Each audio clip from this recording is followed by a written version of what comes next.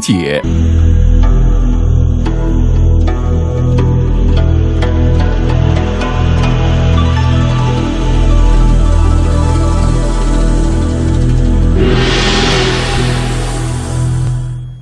在江湖中快乐，在江湖中长齐。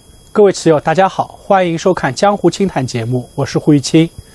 今天给大家带来的是由经典泰迪杯全民围棋团体赛的一盘对局，由我迎战孟凡雄六段。经典泰迪杯是一项今年新办的赛事，非常有趣的一个赛制。它是采用了，嗯，从前年中国围棋协会推出一个全民围棋团体赛的一个赛制。什么叫做全民围棋团体赛呢？它比拼的是一个城市综合的一个实力，一个队的一个综合实力。像经典泰迪杯，它的一个要求是由五台决定，第一台为二十到三十岁的年轻棋手，而第二台是三十到四十岁，第三台三十到四十到五十岁，第四台五十到六十岁，而第五台就有女子棋手，女子棋手可以有职业棋手代表。所以，这考验的不仅仅是某一位棋手或某一年龄段的一个个人实力，而是一个整个城市的一个整支队的一个综合实力。下面我们就来看看这盘棋。孟凡雄是一名非常有实力的棋手，他是我的同龄人，从小我们就下了很多很多的棋。尤其在大学，他就读的是上海复旦大学，而我读的是上海财经大学，我们又成为了老对手。他之前都是职业棋手，然后随着这近些年，因为喜欢围棋，把职业段位退了，可以更多的参加业余比赛。因此，我们在大学期间以后，又有了很多在业余比赛上的一些交锋。每次跟他下棋都特别的辛苦，因为他棋非常有战斗力，力量非常大。应该说，我们总体的战绩应该说是行胜负比较接近。当然，跟他下自始至终一定要高注意力高度集中。因为大家都知道，他现在棋棋非常熟练。他因为在野湖，每年要下很多很多的棋，每天就可能有五六盘的对局，所以对着棋的一种嗅觉非常的敏锐。所以跟他的一些对局中，就经常会吃这种棋形方面的一些亏，就经常会一个局部会突然被他揪住。呃，这盘棋就是一个非常好的一个体现吧。像这挂角以后这一挂，这都是 AI 比较时尚的一些招法。首先，我们今天可以借这个机会讲讲这步飞以后的一个变化。飞以后，首先黑棋有这个夹住的一个下逼住的一个下法，白棋接，白棋可以反夹，所以黑棋有这个飞的一个下法。这个也是比较有这么下，然后白棋飞，将来黑棋留着一个角上打劫的手段。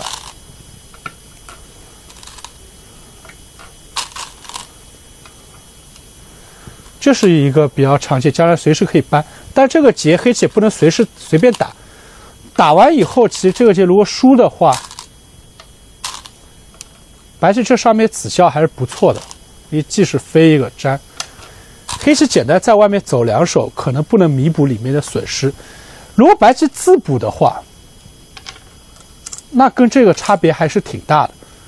这个子首先少了这个子，而且黑棋又搬了刺的一个手段。将来这飞一个目数厚薄都差的比较多，而如果被打成这样的话，将来白棋碰啊、夹住啊，黑棋都有这种受攻之余，所以这基本上可以看成一个两分的一个下法。同时，黑棋又飞出的一个下法，飞出白棋走，黑棋跳，这也有棋手跟我下过这样一个局面，白棋接下来又长或者夹都有。所以这一代变化比较多，实际上黑棋走这个拆也有拆这个和拆这个两个下法，最早是流行的比较流行走这个，但这个现在随着下一手缺乏下一手，因为白棋还是有打入这个手法，下一手也不知道走在哪，所以这个反而是比较少见，要不就拆二，要不就高拆三，实际上先挂一下也没问题。这步拆一，尽管我没有看过电脑，但这步拆一肯定不是电脑推崇的下法。他觉得这棋肯定是，如果要走的话，白棋肯定应该高效率把头抬起来。像这个子效太低了，尽管我明知道这步经常会有这样，就我下棋的时候，包括很多棋手下棋都这样。尽管这步棋不得到不得到电脑的认可，但还是很想往这么下，因为也是自己对棋的一个理解和一个喜欢吧。我并且认为这个胜负肯定不会在这里决出。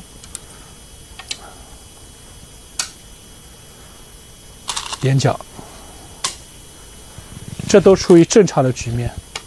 白棋如果挂，黑棋飞。白棋这个再拖，这也是有的，也可以这么下。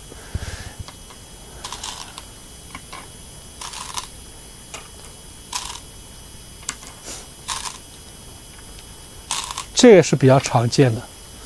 黑棋如果立，白棋贴，然后黑棋如果点，白棋粘上也可以，跳也可以。粘上的话容易形成乱战，黑棋可能走这个比较好一点。走这个有点不伦不类，白棋就算跳一或者加一个都可以。这个的话，白棋肯定会往这走棋了，那这个损失就有点大。实战叠角肯定也没有什么大毛病。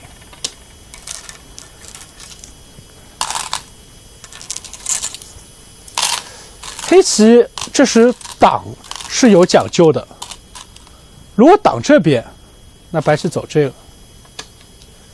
这在我们之前节目黑棋就长，这也是可以预料到的一个下法。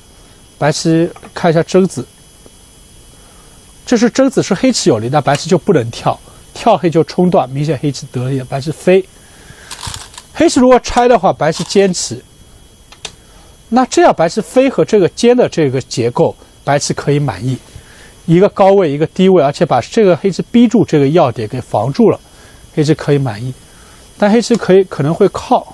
搬了靠，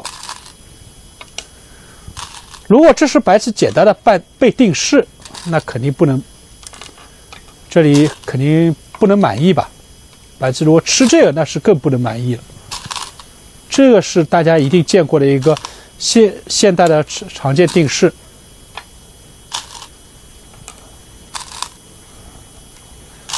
白棋如果飞出，这是黑棋争子有利，黑棋可以争掉。这争子白棋的引争，比如说在这一带引争，经常除非是特别严厉的引争，否则一般情况下是黑棋肯定会不理，黑棋会靠，继续对白棋施压。经过这一带定型以后，这个争子自然而然就不严厉了，白棋大致只能补一个。这个黑棋如果能争和不能争，电脑认为基本上要差将近要差十个点，就胜率要差百分之十左右。在我们看来可能并不是特别重要的地方，电脑认为这两个差别特别大。是能争掉的话，一定要争，只要争掉就是黑棋有利，争不掉是个两分的定式。在这个局面下争掉以后，白棋如果走，黑棋还可以再抢到这个，那应该说是黑棋可以满意的。所以白棋要想想办法，一个办法就是白棋把这个吃了，简单定型，黑棋粘，白棋再刺一下也可以，试一下应手，同时问路，这也可以，拆一个也可以，在这一带拆一个也可以，甚至脱先也可以。就刚才那个定式不太能接受，另外白棋也可以考虑走这个，把这个长出，可以可以选择这样一个转身，这也是不错的一个选择。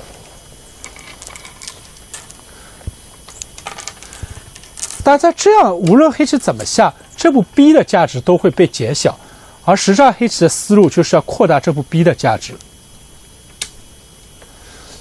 黑棋实战这个飞就是这样，考虑到孟凡秋长期网站。成绩也非常好，而且下了很多棋，对这一代变化肯定很熟，所以我实战确实不太敢拖，拖就担心里面有什么新的变化，飞刀等等，所以选择了比较简单的这个顶了扳。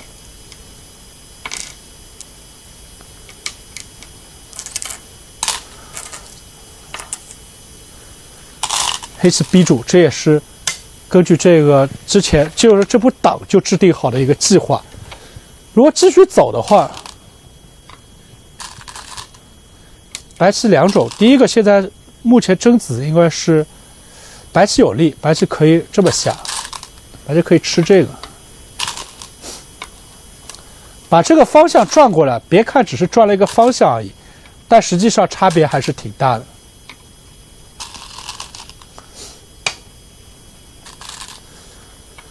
黑棋不能争了，争白棋马上跑，黑棋走这个，白就算飞起或者拆个一，这一个配合白棋应该说是还可以的。那这个头起来了，这个也把这个给防住了，这个配合还可以。所以黑棋实际上选择暂时不下，先逼住，然后再根据这一代下法再决定这怎么动。白棋作为契合打吃立下也没有问题，同时不下在这里点三三也是可以考虑的一个下法。粘上，而且立下。从这个局部来看，我一直认为这个棋形白棋完全可以满意。多一手白棋六个子，黑棋五个子，多一个子走成这样，应该是白棋。我至少比较个人比较喜欢这样的白棋。实际上，接下来下法就是现代的一个非常常见的一代攻防，就这个局面脱先以后的一个攻防。这里黑棋尖顶，这个是以前最最常见的一个下法。到这个虎，最早的时候被认为。这被黑棋下成这样，白棋吃不消，所以黑棋尖顶以后，白棋以前就包括不是以前吧，我们一两年前就 AI 还没有出现的时候，就觉得被黑棋这个逼住，首先很难受，第二个难受之余以后，这次不能再被再不下了，再不下被这一尖顶，这个白棋太难受了，白棋必须要在这下，尖顶的一飞防守，一定要这样，这时就可以看出黑棋这个子的魅力了，比这个子好的地方了。如果这样的话，白棋坚定了飞还可，这个实在有点不太可。但现在棋的理解就不一样了，就现在觉得这黑棋这手棋并不可怕。给大家讲一个故事吧，就在这样的一个局面下，我曾经下过一盘棋，那盘棋也非常有意思，是我搭档天朗，也是一个 AI，和另外棋手叫五贤者，一个业余六的搭档一个天 AI，也是天朗下的一盘连棋。就我们各自搭档，然后下车这样一个局面，走这个，然后这时该我下，我想我要观测一下高手天朗高手啊思路，我就坚定了一下，对这个发起攻击，然后一长，然后我以为这手是在我们所有人的思路中，这几乎是百分之一百的一手，白棋搬，黑棋长，这几乎是这样的一个，然而实战我坚定完，对手一长以后。天上下出这一手，这是让我感觉到已经是匪夷所思，完全是想不到的一步棋。白棋一长以后，那我只能贯彻他的思路了。如果走这个的话，那显然不如这样，只能往这一走，然后他才心满意足的继续下下去。他还是认为这里这个顶了扳不大，所以就是这个抢个。正因为单走这个的话，被白棋飞，他可能觉得有点不可，所以或者被跳一个他。很难理解，往这走了一个，就只能目前只能他因为没有办法说话，也不知道他什么意思，他只能认为这步棋尖顶不好，然后尖顶了扳他实在不愿意这么下，他认为这里价值不大，所以他宁愿这样逼着白棋走完以后走成这样，而也不愿意这走这让白棋出头，这就是一个非常有意思的一个解读，所以渐渐大家都不怕这一手棋，不怕这个。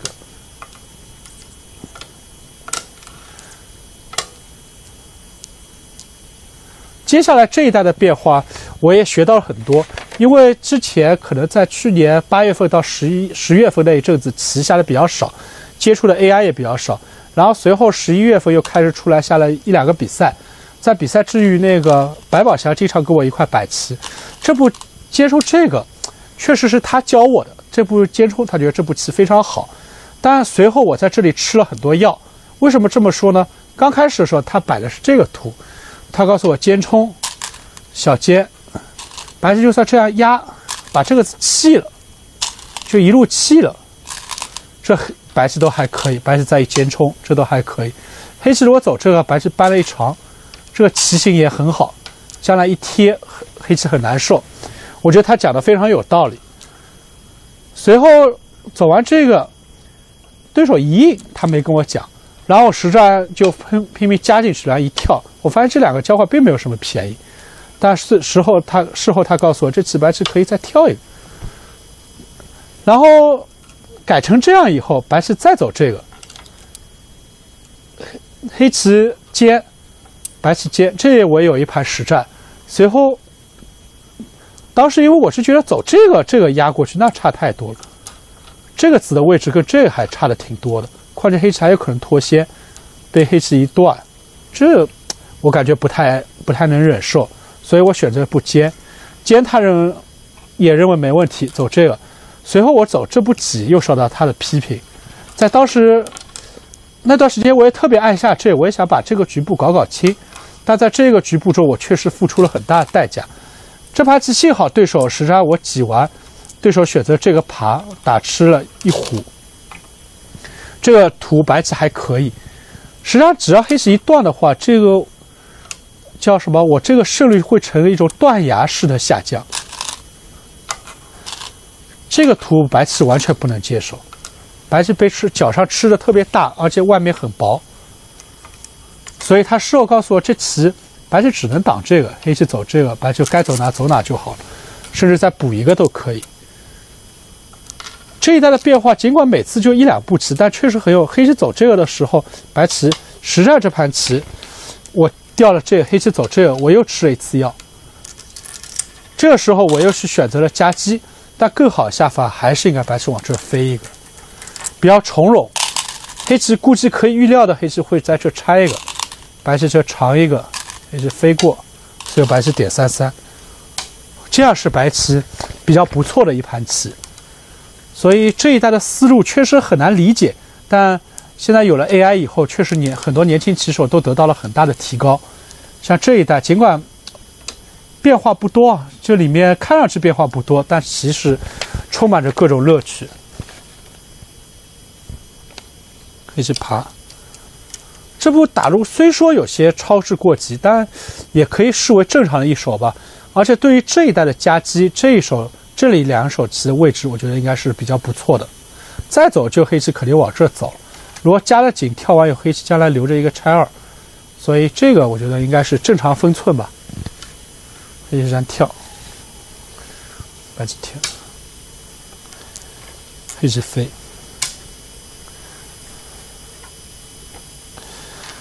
实际上白棋飞这个也正常的一手，同样也可以考虑走这个，走这个有点担心黑棋拆个一。像这种是双方根据地，而且有关这里一带的攻防。走这以后，黑棋这两个子变薄，白棋这块是顺顺势也变厚了。而走这样的话，黑棋一旦这里变厚，白变薄，而同时黑棋这块也会渐渐变厚。实际上，所以因此宁愿被头震进去，也是想把这个自己下厚。跳四，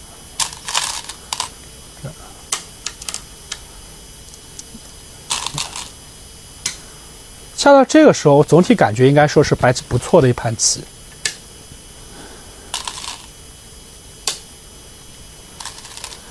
黑棋跳，这两手棋下的非常强硬。首先，这个时候黑棋是明显有一个破绽，那就是这里冲断。这是明显的一个破绽，但直接动手我们可以看一下行不行？黑棋可以先刺一下，这是黑棋的权利。随后黑棋打吃，走，再挖，走这个。很明显，白黑棋很简单的就化解了白棋的攻势。继续，白棋如果继续要杀的话，这个就看得特别清楚了。黑棋一斩。从这样看，这个局部杀气明显是黑棋，白棋不够，白这里很难长出几气，而黑棋这里气根本收不住，这个图白棋不能接受。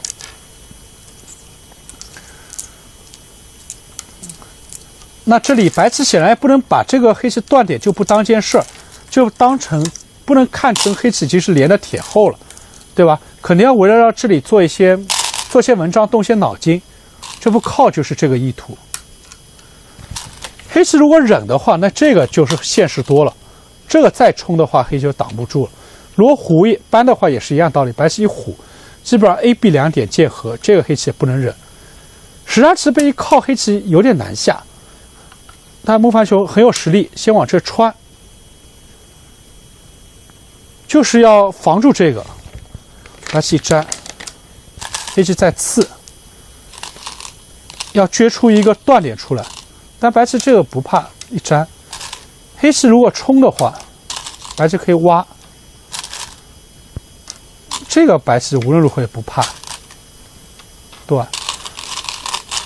白棋就出就单跳，这黑棋就接很困难，这粘白棋就度过，没什么了不起。而局部将来白棋一挡，这个很舒服。黑棋直接冲断，显然有点无谋，先忍一个。接下来白棋如果直接动手的话，由于这里毕竟还欠着棋，这个动手黑棋不怕，白棋肯定要先补毛病。这是补毛病时候，需需要动点脑筋。其实很简单一个地方，要不是粘，要不就挤。区别在哪呢？挤的话眼型要好一点，走这的话，将来白棋要做也只能走这；而挤的话，白棋吃鸡膀可以看成为先手，否则提了一靠，黑棋受不了。这将近就差了半个眼，半个眼对这块棋应该说还挺差别挺大的。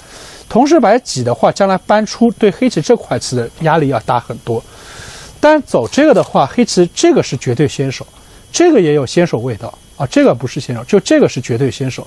差了这个先手对这一带的攻防，比如说白棋粘，一旦白这里多一个子的话，这步挖还是挺现实的一个手段，而这个就肯定不复存在了。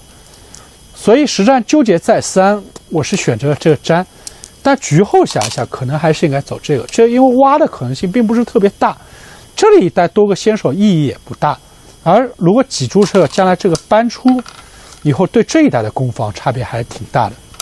尤其如果粘出白棋有跳的手筋，黑棋如果长，白棋一挡，有了这个以后，基本上就已经先手了。所以局后反省还是应该挤一个比较好。总体来说，跳白棋走到这个的时候，应该说还是白棋明显要好下一点。这一带白棋下的更为顺畅一些。一战，实战下一手应该说是我充分可以体现棋深啊，所以我们经常讲棋的一个熟练度还是非常重要的。现在棋因为下的少了以后就会比较深，下面一步棋就是充分体现了我。令我下的非常遗憾，我觉得是可能最近几个月的下的最臭的一步棋，这跟一种低级勺的就低级错误，我们称之为勺那种勺的感觉还不一样，这就是一个棋形的一个迟钝，那就是这部病。我觉得这手棋局后看或者从我现在看，要有多臭就有多臭。当觉得出完头以后，这里我将来瞄着这种手段，像这种手段，整体来说，比如说掉一个，再一冲断。相当相当相当有些各种各样的一些下法，甚至这个出头本身也大，被他先手加一下，对这里隐隐约约有些也有些模样，这棋本身是不小，但落实到具体手法，这步棋太令人遗憾了。首先，即使要走的话，白棋棋形也应该是虎一个，当然这时肯定应该点角更大了，就应该虎个。这个走完以后被黑棋一断，那这个时候真的是还生不如死的感觉。如果吃的话就认亏，那这手棋就得类似于没下一样，将来被人一顶，这太难受了。实战心情上肯定不不能忍，就是一粘，这被一扳特别难受。如果白棋吃的话，黑棋走黑棋这个也是先手，这个就没有必要去强调这个劫谁打过得过谁打不过，因为即使你打赢了，你也不可能粘这个。而相反，白棋如果粘回去的话，将来这黑棋一尖，整块棋的眼形明显不足。实在没有办法，白棋只能吼。黑棋往这一爬，继续考验。白棋一搬，白棋只能吃的话又还原了，只能搬，搬黑棋可以爬进来。所以说这步棋太令人遗憾了。从这里也可以看出棋的一个熟练程程度对棋手实力的一个重要性。现在因为棋下少了，就特别担心在这种棋形方面出一些问题，包括后半盘的低级失误也会增加多。所以棋啊，就是很多小朋友啊，很多或者成年棋友都在问我怎么提高棋力。所以最最重要的死活题也好，或者高手复盘也好，都是一种重要的提高手段。但另外一种最主要的还是要多下。只有多下了，多总结，对棋的熟练了，那自然而然棋形的感觉就会更加敏锐。而实战我这部病确实令人下的太令人遗憾了，这就是完全的棋形的一种钝感。好，我。们回到棋盘中来，这走完以后，将来黑黑棋很痛苦，黑棋将来再一爬，白只能吃吃这个。黑棋只要这一带多一个子的话，将来这一飞又是令白棋苦不堪言的一手。好好的一个角，尽管一顿被人搜刮以后只成五目棋，而且这如果还要被人先手搜刮，这实在 让人有些受不了。但这没办法，都是这步棋不当。如果这步棋不走的话，黑棋不可能会冲断这个，这个子的效率呢太低了。即使被靠一下，力也比现在实战结果要好。这一带白棋损失很大。应该下完这里以后，几乎已经把。布局时候好不容易击转的一些优势都已经消失殆尽了。实际上顶，大家跳一下，这也已经顾不上了。由于已经没有尖的先手，这也已经顾不上掉这个了，只能先把这个确保做活。实际上黑棋再一飞，一方面也是防这个断点，另外一方面也是想将来要追求这一下的舒服。其实，其实白棋这手搬的价值也非常大，在这个局面下，搬了长，将来这个挡是先手，这也是很舒服的一手，目数后保都很大。白棋这是点三三，这肯定也是全局的一个大场。对手显然是对这个这个局部的研究很有信心，第二次使出了这个飞，丝毫不怕拖。白棋继续忍耐。这个时候不能拖，因为拖了以后黑棋这有个子，这个战斗显然不利。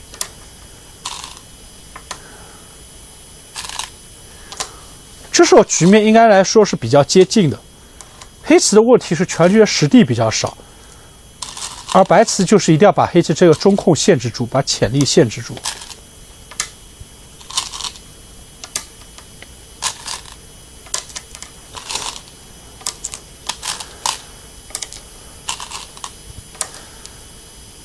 那些争掉，其实白棋这时还是一个简单的搬，这个搬应该说价值还是非常大，这样应该说还是白棋稍稍优势的局面。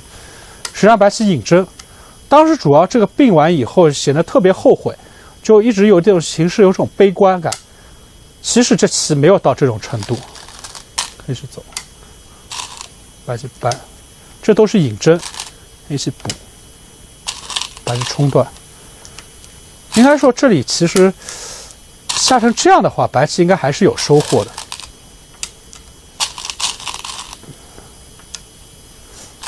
这是体现功力的一手。如果黑棋去吃，白棋一粘，首先多出一挖，先这不谈。另外，将来这里的手段，这里什么挖一个，这里的手段特别让黑棋恶心。所以黑棋这步退，还是稳健的好手。把黑棋打吃一下再退，凑个步调。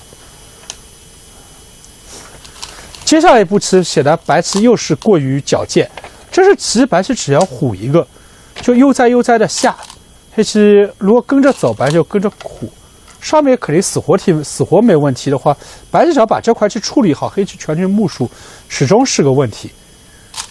黑棋最凶的可能刺一下在小尖，白就跟着一个个长，只要这块棋处理好了，白棋再补这棋补活。这些处理好了以后，黑棋全局目肯定很危险。这如果要围的话，白再往中间随便走走，这应该说是很简明的一个图。实际上，由于这里可能对自己的表现不满吧，所以这些招法都下得过于激烈。靠这个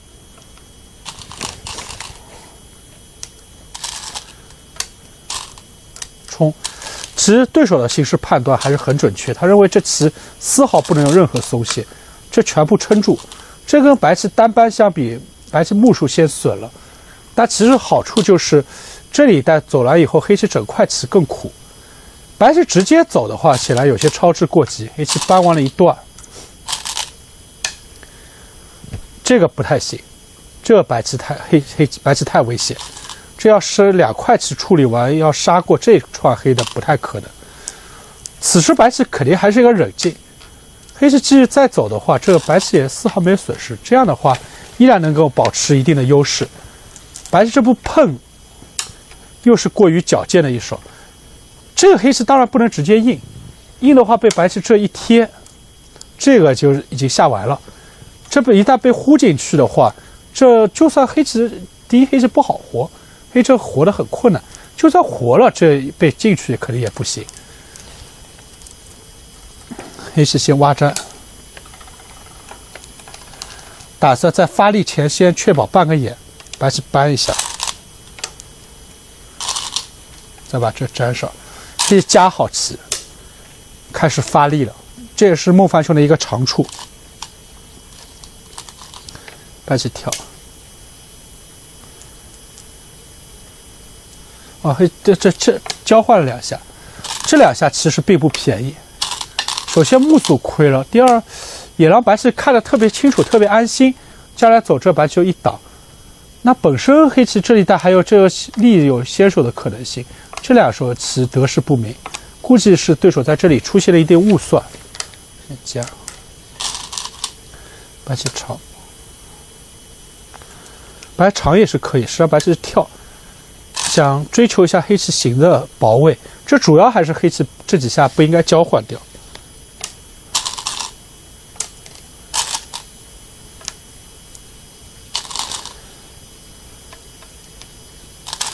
冲了断，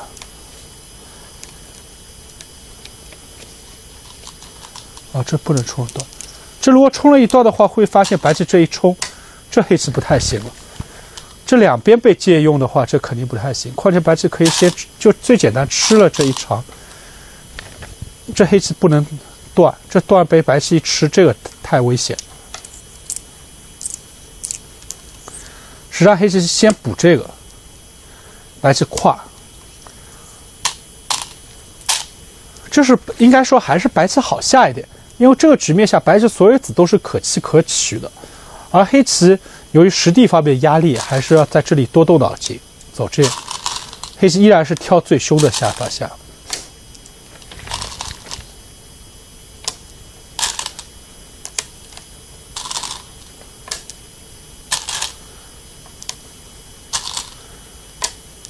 压住，黑走这，白冲过。这是黑棋还是要出招。如果不出招的话，很很明显的一个问题，就是实地不足。白棋黑棋大模亚棋已经是被断了，已经被破了。黑棋所得到就这里实地略微增加一点，实地方面的压力依然很大。断，是，长，战斗依然在白热化之间进行。黑棋扳，实际上这个棋当时犹豫了很久，没有下出手。但这个时候，我局后想，我觉得这棋无论如何白棋应该还是应该吃这个。这个尽管是亏了两目棋，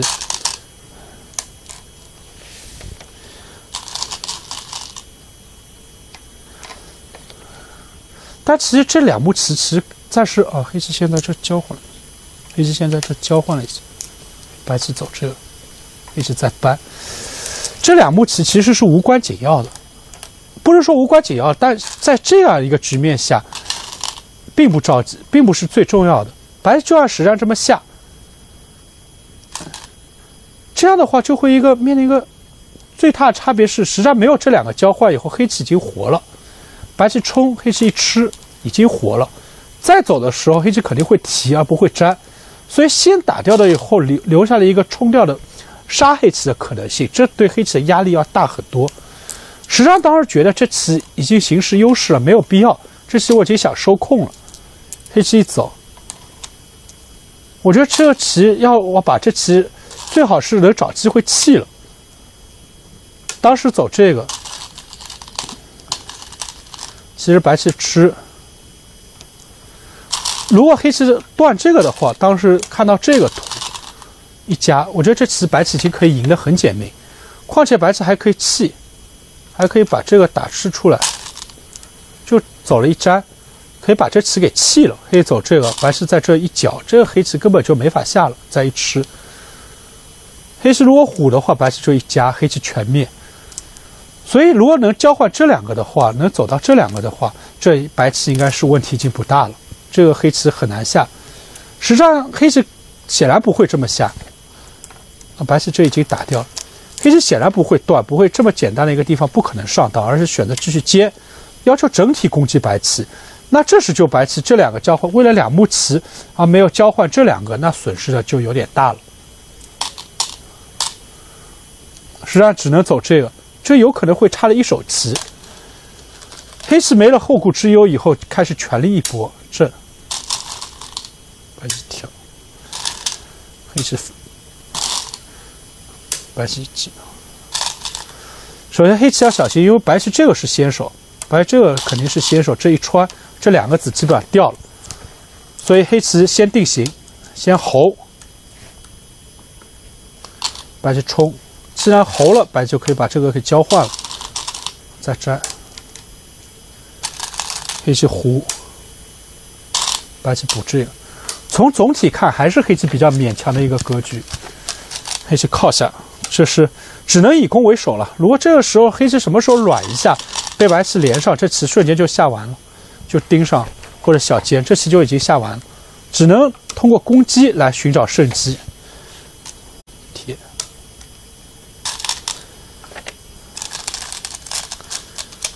这时依然黑棋很很困难，先把这个挡了，因为有可能以后就走不着了，以后万一杀起来，顶，粘。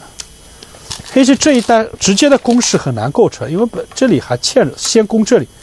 其实白棋什么时候在这打吃一下，黑棋必然要先往这做活，先往这出出逃，那这白棋就有先手一个眼，基本上也就安心了。这是当时也杀的性棋，我想这棋总是黑棋勉强。再一靠，黑棋一走，这手棋都是过于冲动，其实白棋完全可以搬一个简明处理就可以了，白。白棋立，一起粘，这基本上都是如此。然后实战，白棋是可以直接挖，这个打一个亏了一枚劫财，直接挖了断，其实是个非常严厉的手段。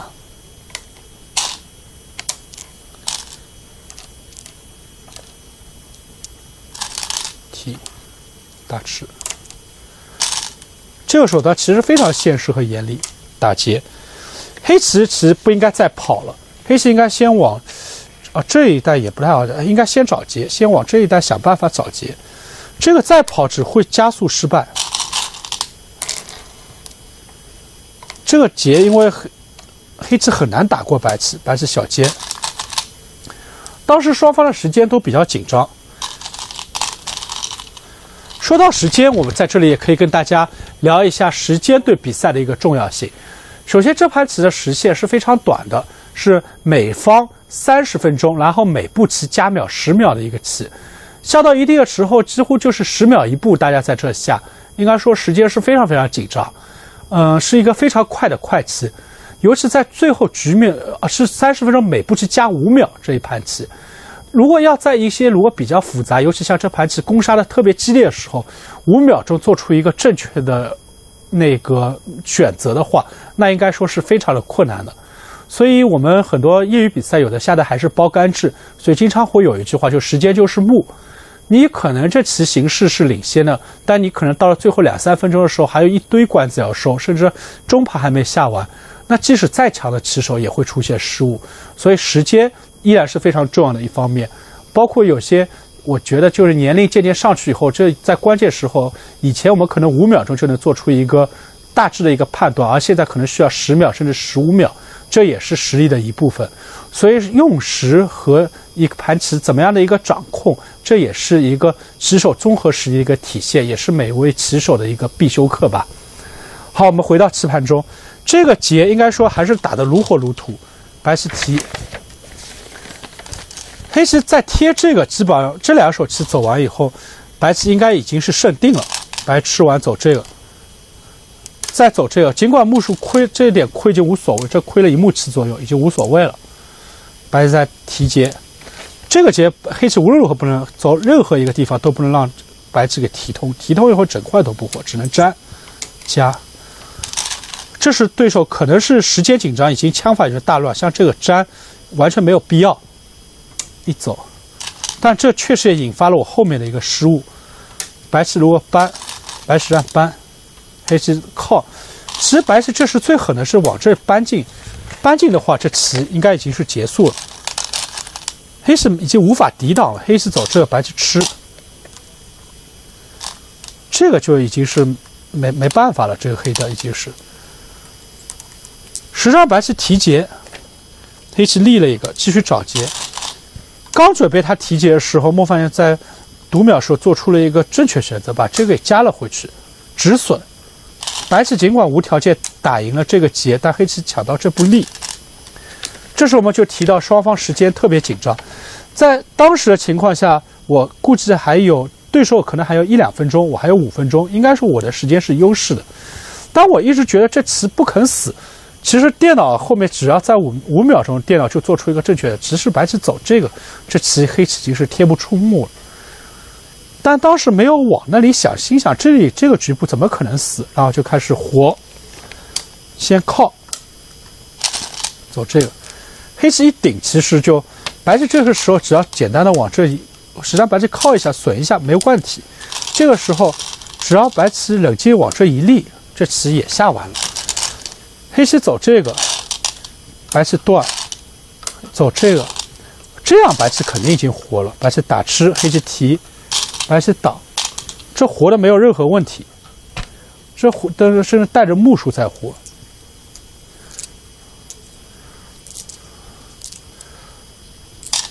那白棋这个时候一立，黑棋如果走这个，白棋就连。黑棋走这，白棋占上，粘上。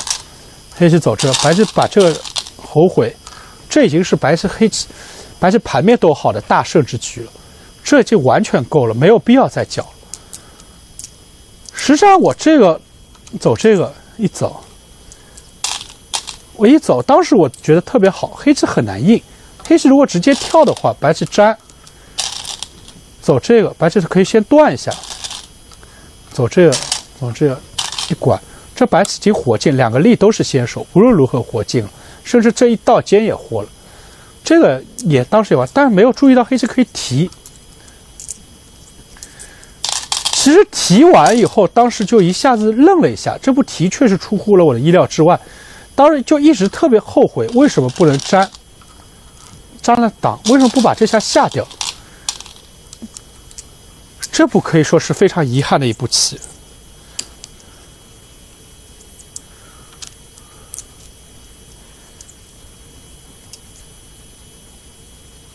啊，提，这样挡黑棋跳，白棋走这。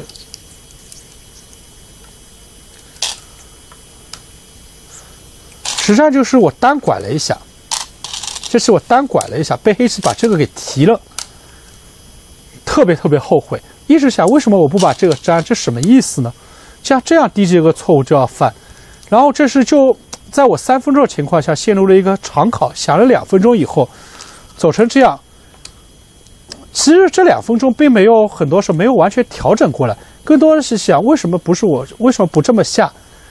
而是他被提了以后，其实这是棋冷静下来，白棋这块棋依然是活棋，依然是打劫。白棋可以先扑，再走这个。黑棋不敢杀，黑棋如果杀的话，白棋一贴，走这个，这局部是个双活，甚至是白棋的一个先手双活。即使白棋黑棋粘，白棋把这个补回就行。这是一个特别简单死活题，可能如果从死活题难度讲，肯定是业余五段以下的，可能业余三四段都行。但在当时的情况下，尤其受到一个情绪的一个失误，当时一直觉得走这被一段好棋啊，这我怎么办？然后就没有细细想，其实还是活的，特别简单的一个局面。当时的情况就是特别特别懊悔，就是尤其下完这步对手提，对方看我在长考的时候，还在问观众其他几盘怎么样。当得我听到得知其他的两盘是二比二的时候，一方面是我觉得。特更加后悔，像这么关键棋已赢到手的棋，一个意外失误把这棋给输出去了。另外一个就是，也断绝了自己认输的一个意念吧。本身挡完一提，我发现这棋活不了，就想认输了。还好没有认输，否则就是真的是太可惜了。第一个，这里面白棋依然是活棋，但当时我和对手孟凡雄都没有看见。冷静下来以后，我竟然是挡了这个。把这里白亏了十五目棋，跟单补的话，几乎是亏了十五目棋。但这局面依然并不是输。黑棋一爬，这步小尖为了目数，为了撑住一目多一点点棋，竟然冒着这个黑棋扑这个的风险，也可以说是已经是已经是完全情绪失控的一个状态。这棋白棋其实只能走，只能走这个，走这个的话，黑棋一打吃一粘，这里差点目数。但还好，这步棋也让我幸运的又得到了后面的机会。这是后面的故事，我们可以继续看下去。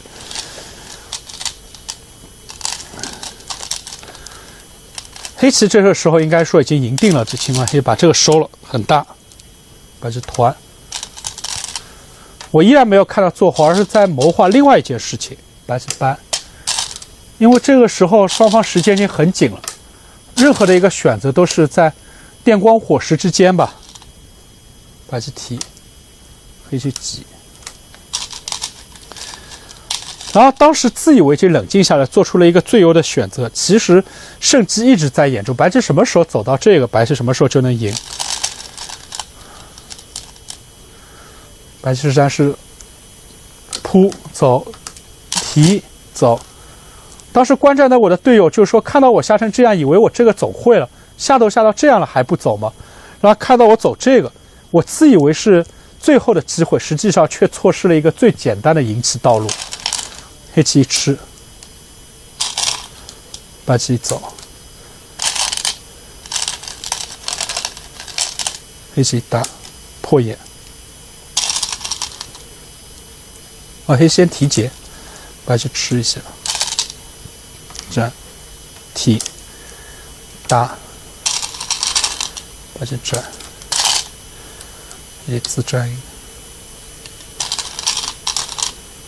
来这，我自以为是搞出一个收气吃，应该说是最有机会的，但实际上却已经不经意间错失了一个特别简单的获胜良机。这是白棋不能粘，粘被黑棋一飞，这个眼位太大了，而且目数损失，先要咬住。对手是觉得对手思路还是相当清楚，他觉得这棋黑棋提还不一定赢。非要把这个粘了，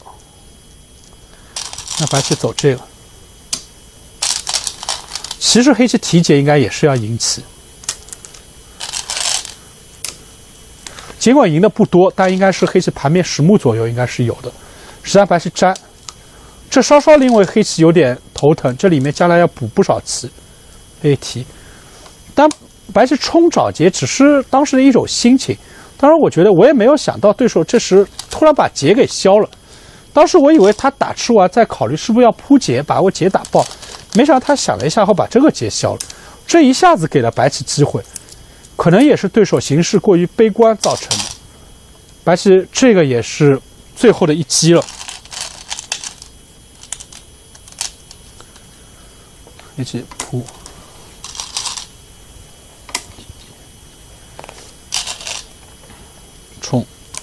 这个是黑棋是劫，白棋提了被黑棋冲下，这个不够，白棋必须要把这个硬住。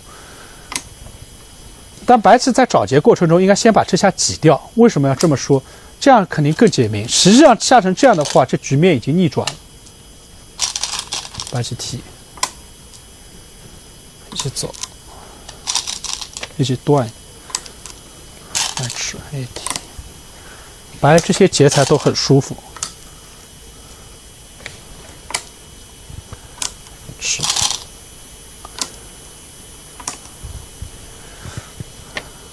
白棋这个有点问题，应该最后机会还是应该把这个打掉。这个应该是赢得最清楚的下法。走完这个以后，这里就存在着一定的变数，在能不能挤到这下就存在着一定的变数。白棋提，一起挤，白棋粘。当时大致算一下劫材，扑提，白棋提，黑棋是这步打吃还是最后一枚劫材？白棋粘，这样的话是黑棋唯一可以争胜的路。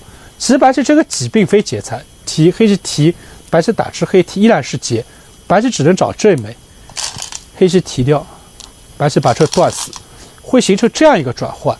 幸运是这样的一个转换，依然是白棋可以逆转，白棋小胜的一个局面。但肯定不如之前白先把这个挤掉，白棋肯定稳稳的多一枚劫财，赢得明显。而实战黑棋也没有做出一个正确的选择，这样应该是最细的，可能是黑棋牌面三四目的样子。黑实际上是冲了这个，那白棋把这个劫消了，应该说终于是觉得赢了。黑走这个，白棋吃这个是胜利的宣言，因为不从目数角度讲这个最大，但从一个安全系数，尤其大家时间都紧的情况下，先收这个。黑棋粘住以后，白棋再稳健的自补，这手棋本身就有价值。